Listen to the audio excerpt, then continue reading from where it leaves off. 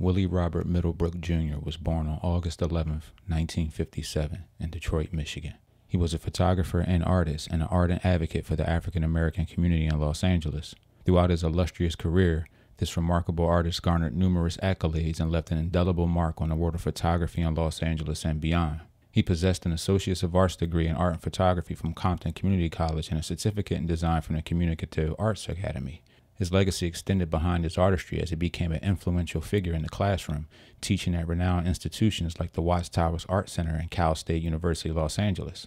Additionally, he served on the advisory committee for the photography department at his alma mater, Compton Community College.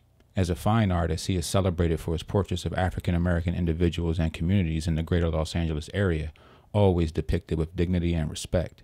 His innovative photographic printing techniques, marked by thickly applied photographic emulsion in dripping fashion, layered upon surfaces and meticulously exposed to create unique prints, became a hallmark of his work.